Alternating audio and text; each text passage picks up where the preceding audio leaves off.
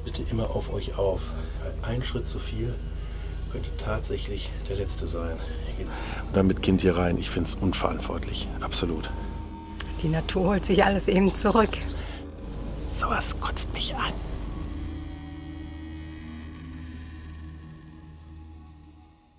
Guten Morgen, Mahlzeit oder guten Abend, je nachdem, wann ihr dies gerade seht. Und herzlich willkommen zu Urbex Stories. Ja, es ist ein echt idyllisches Plätzchen, an dem wir uns hier befinden. Und wir haben hier was im Wald entdeckt, mitten im Wald, mitten auf dem Berg. Das schauen wir uns jetzt mal gemeinsam an. Fangen wir direkt hier an unserem Ausgangspunkt an. Hier ist so eine kleine Bank, auf der man hier ziemlich gut ins Tal blicken kann. Da hinten können wir den Rhein erblicken. Ganz, ganz, ganz, ganz viele Berge und kleine Dörfer. Richtig schön. Und hier scheint es sehr ranzig zu werden, aber auch sehr groß. Ja, Leute, also der Komplex hier besteht aus mehreren Teilen und dieser Teil ist ganz schön runter. Schaut euch das mal an. Das wirkt leicht wie eine alte Burg, aber auch irgendwie doch nicht das mal so eine Art Jagdschloss oder sowas vielleicht war oder Industrievilla. Ich bin mir meiner Sache noch nicht ganz sicher. Wir schauen uns das mal an. Hier scheint es auf jeden Fall in einen Teil des Gebäudes reinzugehen.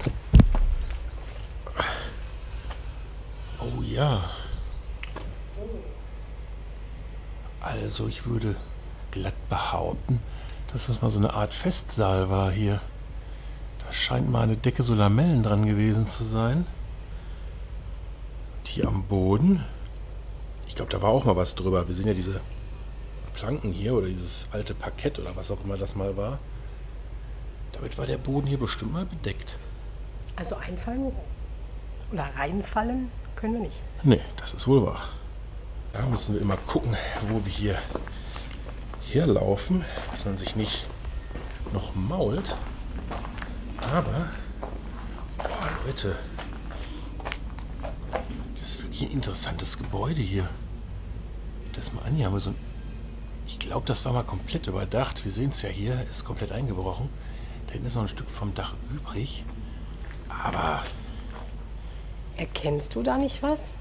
Festsaal. Und das da hinten sind da Schienen. Ich bin jetzt hier mittendrin, Leute, und ich sagte ja vorhin mal was von einem Jagdschloss. Wenn ihr jetzt mal genau hier guckt, hier unter der Überdachung, hier ist noch Holzboden, wie ihr seht. Ach, ach. Und hier auch so Bahnen her. Ich könnte mir jetzt vorstellen, so von der Breite her, dass das vielleicht tatsächlich meine Schießanlage war. Weil da hinten die Wand, da seht ihr es ja auch, da dass da mal was aufgehangen wurde. Das vielleicht tatsächlich hier versuchen wir den Boden. Eine alte Schießanlage war, würde zum Jagdschloss passen, sage ich mal. Seht ihr, das ist das, was ich meine hier. In die, dieser Wand ging auf jeden Fall mal was. Und da könnte ich mir jetzt tatsächlich vorstellen, also Ziele vielleicht. Interessantes großes Gebäude, muss ich sagen. Und ein echter Lost Place. Ich glaube, du wolltest mir gerade was mitteilen hier. Ich sehe schon einen Teil. Ja, nicht nur das hier, sondern der Rahmen ist ja noch da. Ja, die Türzage gibt es echt noch hier. Und weißt du, was es noch gibt? Was denn? Dann schauen wir hier rüber. Das ist einfach nur genial. Einfach eine Steck hier Steckdose. Oh. Hier ein Lichtschalter. Jo. Und da hinten eine Steckdose. Hier ist alles runter. Aber in den Wänden sind tatsächlich noch Lichtschalter und Steckdosen. Ich werde bekloppt. Zack, Licht an, Licht aus. Wahnsinn. Wir sind ja hier neben diesem langen Gebäude und äh, es scheint, als hätte hier mal eine Bank oder ein Tresen oder sowas in der Art gestanden hier in diesem kleinen Raum. Wenn das daneben tatsächlich mal eine Schießhalle war, könnte es gut möglich sein, dass hier vielleicht die kleine Kneipe dafür war. Ein in Ruhe nach dem Schießen oder nach der Jagd getrunken werden konnte. Die meisten Jägersleute sind ja nicht nur gut am Gewehr, sondern auch gut am Glas. Deswegen wäre es auf jeden Fall vorstell vorstellbar. Mein Gott, ich habe aber heute auch echt Sprachprobleme. Hier so reinschaue. Ich ich habe stille Örtchen entdeckt. Hier sind auf jeden Fall schon mal Fliesen. Die sind noch zu erkennen. Wir gehen mal rein in die gute Stube. Und ja, tatsächlich haben wir hier noch einzelne Kabinen. Die Keramik ist nicht mehr vorhanden, aber ein alter Klorollenhalter ist noch da. Also das ist ja echt krass. Also die Fliesen trotzen der Natur immer noch. Gucken wie lange. Hier aus dem Waschbereich raus geht es in so einen Raum, wo es in diesen Saal geht, den wir euch gerade gezeigt haben. Und ich muss sagen, diese Bauweise hier, mit den Stahlträgern teilweise dazwischen, das sieht schon wirklich irre aus. Aber was das hier mal war, ob das vielleicht mal die Küche war oder auch Essensbereich oder so, lässt sich leider kaum noch sagen. Der Bereich, der leider nicht mehr wirklich äh, gut zu betreten ist, sage ich jetzt mal, ist dieser hier. Das ist der Eingangsbereich, den ich gerade von außen schon zeigte. Und es ist wirklich also richtig schön anzusehen, dieser ganze Verfall. Ich weiß nicht, ob es hier mal gebrannt hat oder warum das so ist. Möglich wäre es auf jeden Fall, weil es ist wirklich ordentlich zusammengestürzt. Das sieht man wirklich überall. Leute, schaut euch mal dieses Treppenhaus hier an. Das ist ja wirklich mega. Natürlich kommt man jetzt leider nicht mehr hoch. Ist klar. Aber diese massiven Balken und diese massive Bauweise hier, das sieht man auch hier an den Zagen und so weiter wieder. Es ist wirklich faszinierend. Ich bin absolut begeistert von dieser Location. Es ist egal, auf welchem Lost Place ihr seid, ob in diesem Zustand oder in einem besseren. Passt bitte immer auf euch auf. Ein Schritt zu viel könnte tatsächlich der letzte sein. Hier geht es nämlich ordentlich weit runter. Die Überbleibsel, die wir hier sehen, ähm, Entschuldigung übrigens für die Nebengeräusche, die ihr teilweise hört, hier sind noch ähm, ein paar andere Leute mit bei. Nicht mit uns bei, aber sind hier auch auf der Location. Was ich eigentlich sagen wollte, guckt mal Leute, das ist eine Art alter Kühlschrank. Aber richtig alt, von außen aus Holz, innen drin, so verkleidet. Und hier auf der Seite seht ihr auch noch die Haken drin, wo jetzt zum Beispiel Fleisch und Fisch abgehangen werden konnte. Das ist ja richtig irre und das ist wirklich antik. Guckt euch mal diese alten Türen an. Das ist wirklich Wahnsinn.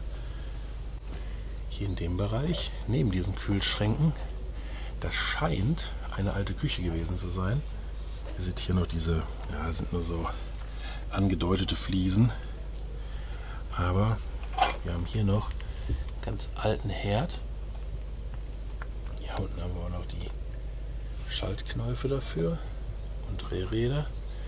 Da hinten auch wieder angedeutete Fliesen. Kämpfen uns mal unter diesem Balken hierher.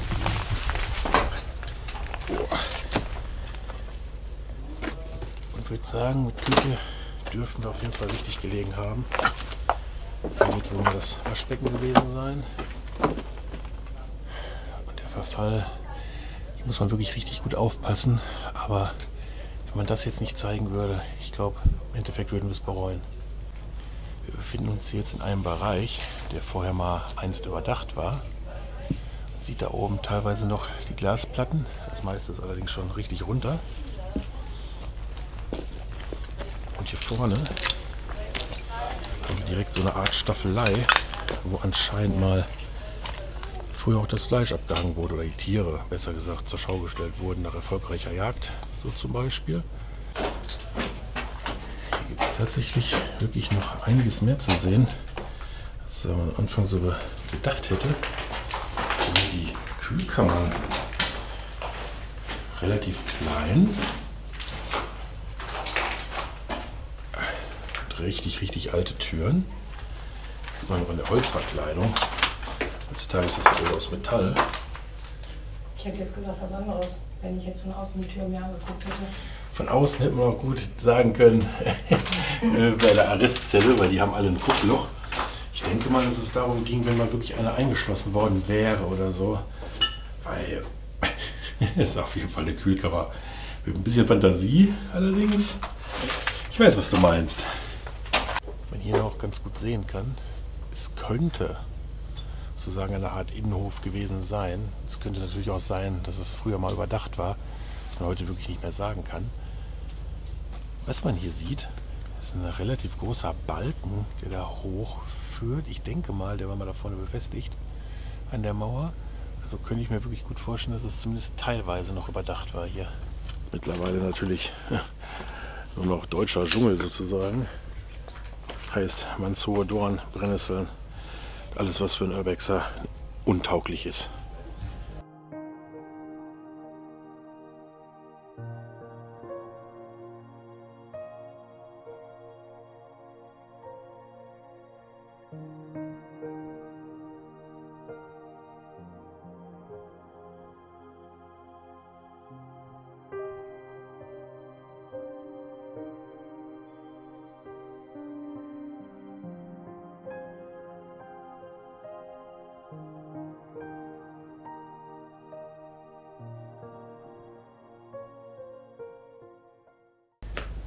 Vorne sehen wir jetzt eben noch einen relativ alten Teil, würde ich jetzt mal zumindest behaupten.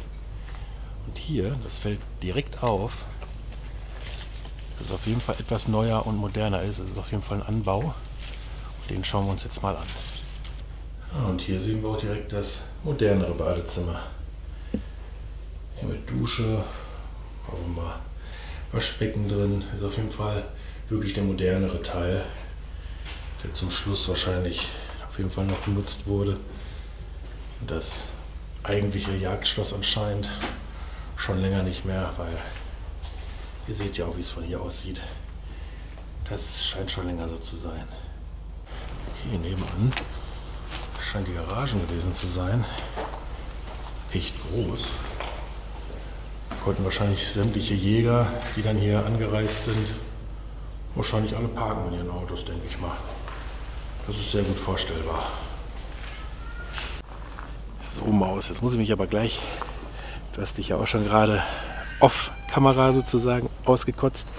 Und ich tue es jetzt auch gleich. Vor der Kamera ausgekotzt. Ja, hinter der Kamera ausgekotzt. Der Kamera. Und jetzt können wir es nochmal vor aber der Kamera machen. Tut mir leid, das äh, kann ich nicht. Äh nee, ihr hört es vielleicht im Hintergrund.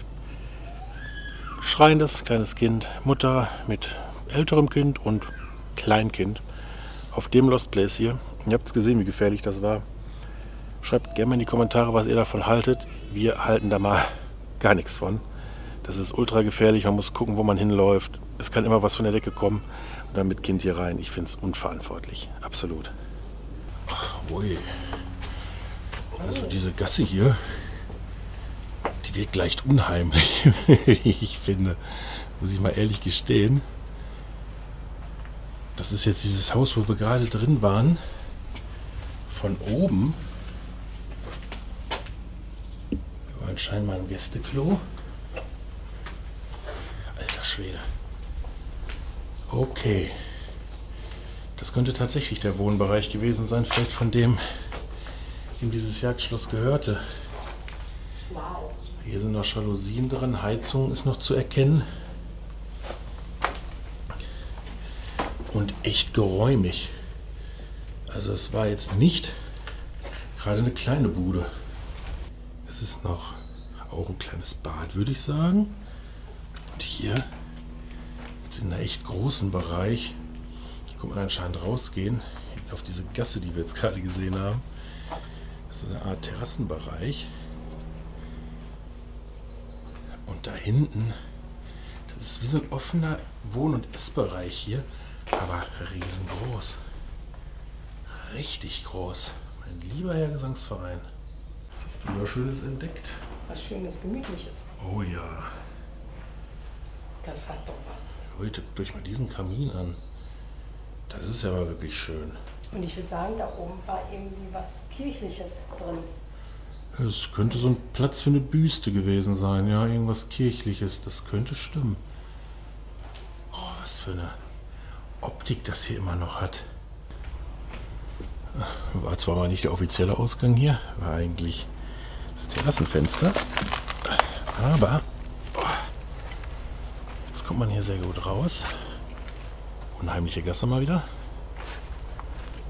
Und, oh ja, hier kann man direkt sozusagen zu dem alten Gebäude rüber, wo wir gerade drin waren. Also das ist schon wirklich interessantes Anwesen, muss ich sagen. So, was haben wir denn hier Schönes? Puff. Oha. Keine Ahnung. Ich glaube, hier hat sich tatsächlich mal jemand einen kleinen Vergnügungsraum gemacht. Seht ihr das, Leute? Sofareste. Und da hinten auch, ich glaube, von der Farbe her. da hat mal einer sich sein Liebesnest gebaut. Das anscheinend aber auch schon eine Weile her ist, zum Glück.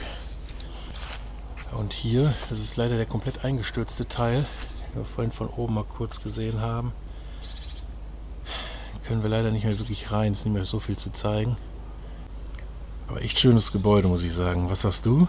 Die Natur holt sich alles eben zurück. Den Spruch mal von dir zu hören, ist auch schön, aber der trifft wirklich auch zu 100% auf dieses Anwesen zu. Man fühlt sich hier verzaubert. Das stimmt. Du hast es ja gerade auch schon gesagt. Man trifft ja immer mal wieder auch Fotografen auf dem Lost Place. Ja. Das jetzt normale Urbex-Fotografen sind. Man hat ja auch eigentlich nichts dagegen, aber manche, aber mit so Hallo, Tschüss und von wegen, ähm, bitte nicht durchs Bild laufen und Laute allem Musik. Scheiß laute Musik an und so weiter. Das gehört ja genauso wenig denen, wie es uns hier gehört und sowas kotzt mich an. Ja, Leute, auch wenn wir uns ein kleines bisschen aufregen mussten hier, ein wenig Herzrasen, nicht wegen erwischt werden, sondern mal ein bisschen wegen Ärgernissen. Aber sowas gibt es auch mal. Trotz alledem, weil diese Location fanden wir echt schick, war mal was anderes. Wenn ihr das genauso seht, lasst uns gern Daumen nach oben da.